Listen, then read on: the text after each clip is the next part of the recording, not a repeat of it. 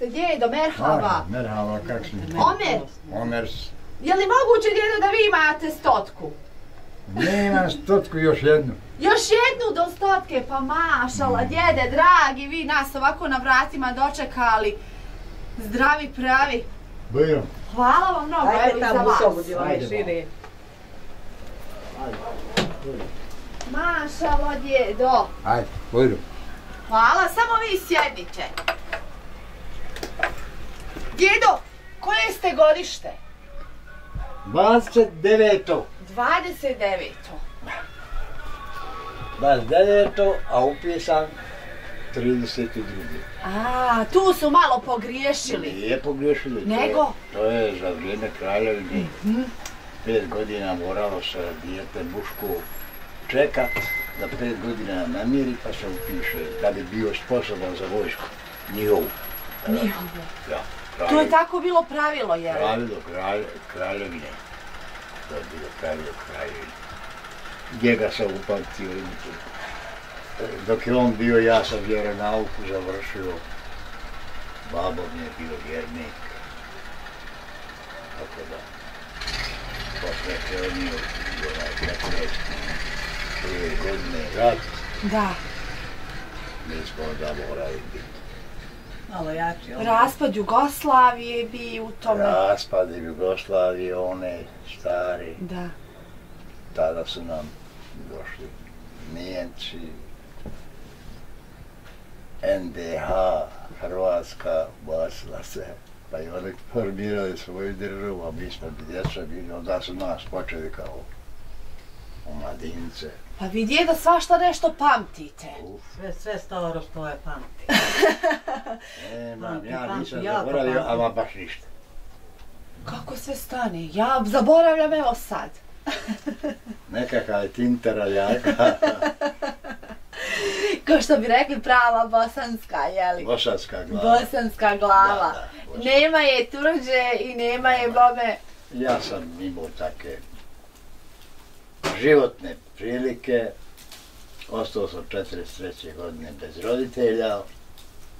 Tada sam prihvaćen od strane odbornika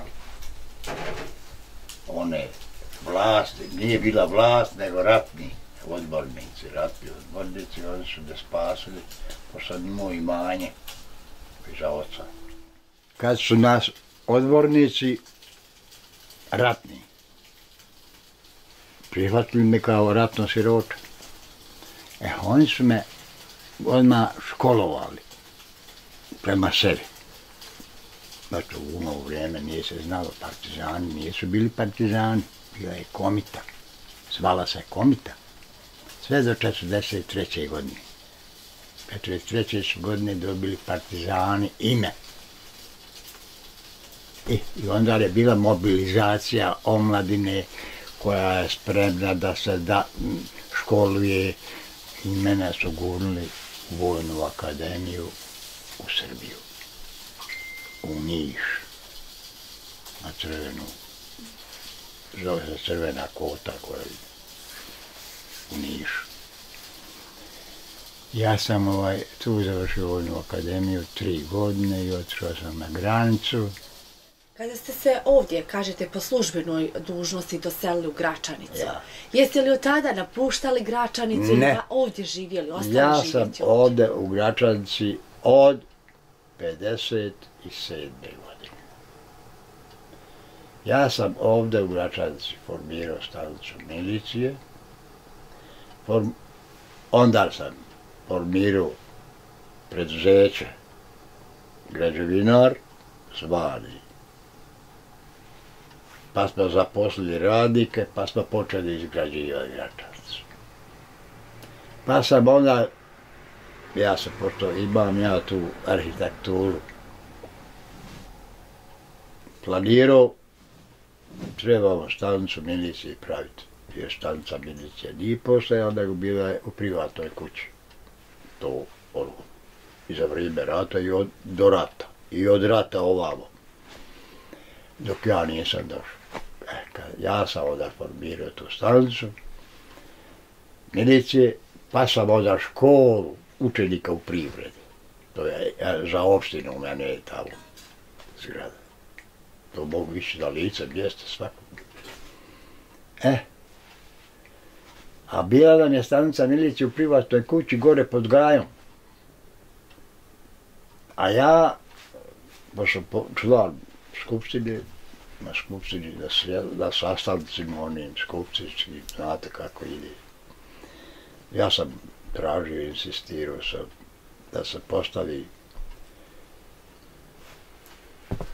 plac gdje ćemo graditi stanicu policije. Vi ste znači bili inicijator za mnogo Inicija- toga. Inicijator. Ovdje u, u I ova Gračanici. ulica nije postojala kao ova je skroz. Ona je obilazni krug, ulica. Vi kažete da ste u, u penziji, dugo evo već. Kažete Mm, dobro, minimalna, kakva je, takva je. Ali ovaj, a, također ste rekli da su da ste završavali vojnu akademiju. Jesam. Odakle ste otišli u penziju? Odakle sam? Da. Ja sam u Bjerkovici rođen. Selo Bjerkovica, opština Lukavac. Ali nisam ja gor bio. Niste? Nisam. Ja sam kao maloljetnik otišao u omladinske brigade. Ja sam u omladinskim brigadama najprije proveo četiri godine. Bio, postao sam kobejagi, pošto sam ja dijete bio sa tom vjeronaukom obučen. Onda sam bio malo hrabar, malo tasadio. kad se pohvali. Ovaj, i zato sam, onda sam ja odmah otišao na pruge. Tada su prvo pruge počele da se izgrađuju. Pruga Brčko-Banović. Ja sam dao tu prugu. Otišao, bio sam komandir omladinskih brigada, imao sam brigadu raspoređenu u Poljani i jednu u Dubokom potoku. E, tako da sam ja to obilazio i da se planovi oni koji su nama dolazili iz iz Tuzle, iz toga urbanizma. I ja sam po tom urbanizmu radio, kuda mi je planirana pruga, kuda mi je planirana cesta i vodio te omladinske brigade. Eto, e, kad sam to uradio, onda smo, u tom se je formirala država Jugoslavija, Federativna republika Jugoslavija. Jeste li vi ovdje u Gračanici, u ovom mjestu, a, jedan od najstarijih ili čak najstariji Najstariji, sad, nisam bio najstariji. Da, ali sad, Sad ne, ove po- godine, ba, sad ne postoji stariji. ne postoji stariji ovdje. Stariji ne postoji, možda žena. Aha. Možda koja žena postoji, ali ja ne znam za žene. Kao da žene duže žive, šta je ovo? A? Kao, kao da duže žive, je li tako? Živi, živi, imam mi, ja sam, koliko se ja sjećam, koliko znam, ja imam u Lohini jedna starija žena od mene dvije godine. Imam ovdje u, u kako se zove u ovaj, ja, Lipa. U Lipi imam jednog hođu, koji je samo stariji tri mjeseca od mene. Samo je ali je još živ ali ne pomičan. Ne pomičan, on ne mere hodat, on ne mere više obavljati ništa, a ja još radim sve. Možete raditi? Ma svud, sve što treba ja i sad to radim. Pa šta radite? Sve, ako, i građevin, ako treba. Ako treba, ja ovo sve uzašam za dva sata. Ozbiljno. Ozbiljno. Jeste li ove godine baš I ove radili? godine, i ove sam godine ga uradio, sad ću ga planirati, opet ako Bog da. Pa vas zdravlje znači služi, Ja sam još u punoj kondiciji. Hvala Bogu. Još sam u punoj kondiciji, samo što mi ponekad dođe, kako je sad ovaj, kako se zove ova korida, Korona. korona. Kako je ova korona, malo, kako smo dobili ovu vakcinu, malo mi ruke trnu, onda imam malo više vrto- vrtoglav, pa ja koristim štaku. Uzela sam štaku kad izlazim, ali, ali ja hodam, ja izlazim, hodam. Potreb, kad, je šta potrebno ženi, odim, donesem sve što treba. Svaka čast. Ima li neki tajni recept kako ste ovako u ovim godinama ovako da imate i kondiciju, krećete se, vidite. hvala Bogu, pamćenje? Ne pijem alkohol ljudi. Ne pušim. To nikad. Od mog dječinstva, u dječinstvu znam da sam bio počeo pušiti. Ali ono, dječinstvo. E, pošto sam došao u redove vojne, ja sam onda morao postati ozbiljniji, čišći, jer sam ja morao biti komandir karaule, bio sam četiri godine tamo, tako da opet sam ostao, evo kakav sam takvi sam. Da li onako kada vas sretnu kažu, Omere ti se ne mijenjaš? Ja, Jel da tako? svako mi kaže, overe, pa ti iđeš mlađi, mlađi. Ako ne znam ja to se brine Bog. Ja da to iđi. Rekao, to se Bog brine, ja ne znam šta radi. Pa a šta ti trošiš? A što ti trošiš? Ovako jednostavno. A što rekao, šta ti trošiš? Šta ti jediš? Pa ovo ono. Ne, mene što, i, što dođe na sto, to ja jedem. A jeste istina da tražim higijenu. To tražim higijena da bude u hrani. I ženi kažem, evo, ovu sam ženu uzeo sad da joj poklonim svoje. Jer imam ja i gore kuću u Bjerkovice. I dol, i, i po zemlje. Na ravnici, lijepo zida na kuću. Ali je meni ovdje moj život prošao. Jer ja sam sve svoje znanje i snagu dao ako treba, jer ja sam morao bandu ganjat u onom vremenu, to je posle ratna banda, to su te izdajice. Ali eto, vreme, i tri sam atentata pre, pre, preživio, na kući mi je dva i jedan na sred centra ulice, ali me nije uspio ubiti. Nijesu me uspjeli ubiti i evo mene i danas dali, pa se svi čude i kaže, "O, ovi moji koji me znaju. Ma kaže, pa tebi nema kraja. Tebi kaže, nema kraja. Se ja spijevo, se malo se šalimo i tako. Ja sam zadovoljan. Bitno mi je da sam na mirnom, u mirnom području, slažem se s ljudima, poštujemo se. I to mi je najvažnije jer ipak moje godine da jesu više za e, omladine, jer ova omladina me ovažava nas, ne poštuje neće da sluša. Kaže, ko ti je Hristos se rano rodio. Ja sad ovo riječ. Sve to ima sve. Nije to kao ranije, kada su se stariji cijenili, kada je njihova riječ bila svećinja. Kad mi već tu barna. Mene je moj babo, moj babo bio vjernik. Oda. Učio. Do pet godina bio sam pod njegovom uh, diktatu, eto da ne reknemo. Slušao. A posle sam pred Efendijim, pred Hođi. To sam učio. Jer me je babo tako vaspitao. Kaže, kad vidiš da ide stariji čovjek prema tebi, skreni u kanal, sine. Nemoj da mu rekao riječ dok on tebi ne progovori. I ja sam se toga čuo. Vjerujte da mi se dešava da sam skretao u kanal u, ra, u žaru. Vi znate šta je žara trava. U žaru sam skretao kad vidim da ide stariji čovjek prema meni. A da je danas to? Ja danas ovdje u svome dvorištu nisam rahat od omladine. Vjerujte mi. Šta je njemu da se da uzme kamen pa da se baca u prozor? Šta? Čije je dijete? Ja ispitam čije je dijete. Ja neću napast dijete, ja neću goniti dijete, neću ga udariti. Ali hoću da znam čiji je, koga vaspita.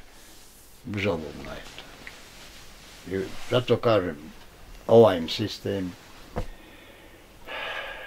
ljudi pokvariše. Mi računamo stariji. Mi računamo da smo da ćemo imati djecu vaspitanu, da ćemo školovati djecu, pravili smo škole, pravili sam domove zdravlja, jer pod mojom inicijativom je napravljena i bolnica, napravljene dvije škole, tri pravca puta asfalta, četiri mosta, sve pod mojom inicijativom kako sam došao u Gračanicu. Ali, ko mi to vjeruje? Nitko danas. Danas niko mi to ne vjeruje. Nije da ne vjeruje, nego ne poštuje. Ne cijeni se danas. Ne cijeni me. Ja izađem u čaršiju. Ja imam, imao sam do skora društva dva čovjeka samo koji s kim iziđem, pa sednemo, popio kafu i progovorimo, razgovaramo o ovim situacijama. Znaš kako, ipak nas, nas boli. Nas boli nepravda. Ovo je velika nepravda. U sistemu je velika nepravda. A da ne govori, neću da miješam se ko je u toj nepravdi, kad znamo svi. Uz kahu sve lakše, djedo.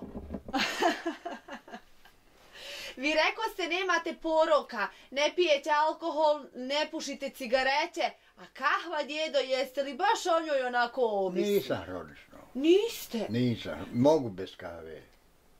Mogu. Svaka čast, meni ujutru... Vidi, ja samo dopunjavam društvo. Meni moja supruga, sad i ja tako zove žena, supruga, ona napravi kafu. I meni je red s njom popit kafu. Ja, ona mene vikne, napravi kafu, vikne ja popijem s njom kafu. A da ja kažem, daj mi napravi kafu. to Ne bi. nikad. A kažu uz kafu idu najljepši razgovori. Imaju razgovor, kad se imaju napravi. Ima razgovor. do duše djedo i sikteruša. Ima, ima, ima to. E, moram ja vama da se zahvalim mnogo na tome što ste pristali da razgovarate sa nama, što ste nam a, mnogo toga ispričali o vašem vama- životu. Ja vama zahvaljujem. Čuj, nemam para da vam dam. Ne trebaju nam pare, nama lijepa riječ mnogo znači, a dali ste nam i više. Mi se osjećali fino i ugodno i Hvala vam, ništa bolje nama ne treba. hvala vam. Ja sam nastojao i uvijek sam nastojao da u svojoj kući budem gostoprimljiv. Da budem gostoprimljiv. Bez obzira. Ciganin, kaže ciganin, za mene je bio čovek. Neke samo sa karakterom. Karakter je uvijek bitan. Karakter je bitan. Tako. Eto, to je moja ispovijest. Hvala vam mnogo. E, a, bio je ovo razgovor, donijeli smo vam razgovor iz Gračanice. E, moj današnji, današnji sagovornik, domaćin, bio je Omer Kadribašić. Evo ja vam dugujem nekako jeli, tu najavicu, malo mi izbrzimo, malo ja se pogubim ko džiha u grahu, što bi se reklo, ali, Ali. bitno da je priča lijepo tekla i da ste mi vi uživali. Najljepše pozdrave vam šaljemo. Je li tako, djedo? Tako je. Eto, do druge neke nove priče. Svim poštenim se zahvaljujem. Svim poštenim, Ovima, bez obzira koje nacije bio. ovima nepoštenima. A nepoštenima trebamo izgraditi neki plan, pa im vratiti na pravi put, jer ja sam još u stanju savjetovati. To jedino bi želio nepoštenom, ako neće vratiti se na pravi put, daj mu kaznu zakonsku. I to je u mene poruka. Strogi ste vi, djedo. Ja jesam, ja sam, Bio tu. ja sam bio taj. U najgora doba ja sam sprovodio plan života, svu Jugoslaviju, sve gradove, sad što je Jugoslavija, Slovenija, Hrvatska, Dalmacija dole, skroz, Bosna i Hercegovina, svi veći gradovi gdje su postojala ministarstva, ja sam morao doći. Jer ja sam bio član Skupštine SFRJ. Mene je Tito zaposljavao i upućivo, idi tu, idi tu, idi tu, idi tu.